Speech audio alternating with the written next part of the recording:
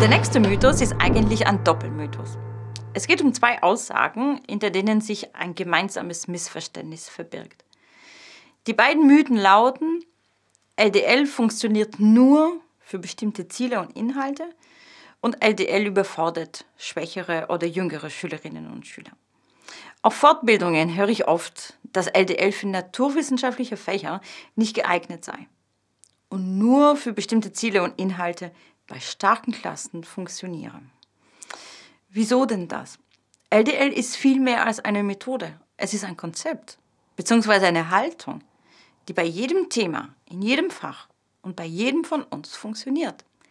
Im LDL-Konzept bekommen die Schülerinnen und Schüler und die Lehrkräfte eine neue Rolle.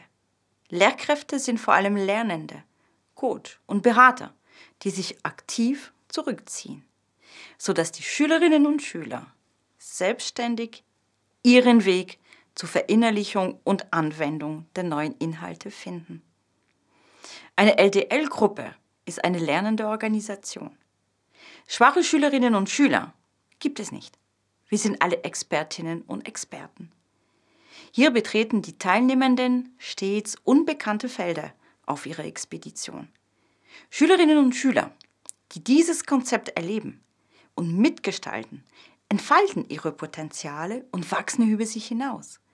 Dank diesem Konzept entwickeln die Schülerinnen und Schüler wichtige Kompetenzen fürs Leben. Erstens, sie wissen, was Menschen brauchen, um glücklich zu sein und gehen achtsam miteinander um. Inklusion läuft in LDL-Klassen reibungslos. Zweitens, sie sind flexibel und haben geübt, wie sie mit Unsicherheiten zurechtkommen. In der Pandemiesituation erlebe ich täglich Menschen, die in dieser Hinsicht talentfrei sind.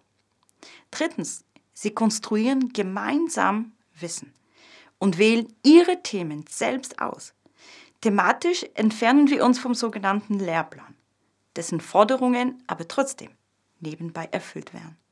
Viertens, sie reagieren schnell und selbstständig auf Veränderungen.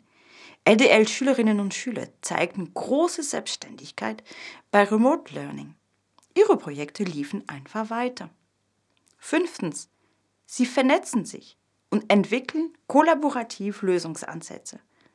Und sechstens, den Schülerinnen und Schülern sollte schnell klar werden, dass sie für sich und für die Gruppe und nicht für die Schulaufgabe lernen.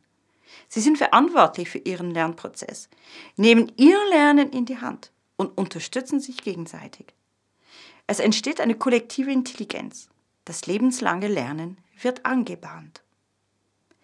Mein Fazit lautet also an dieser Stelle, LDL ist eine Haltung, die bei jedem Thema und in jedem Fach Anwendung findet. Alle Schülerinnen und Schüler werden angesprochen, eine arbeitsmotivierende und entspannte Atmosphäre im Klassenzimmer herrscht. Aufgrund dieser Haltung fühlen sich alle Teilnehmenden wohl und können ihre Potenziale entfalten. Musik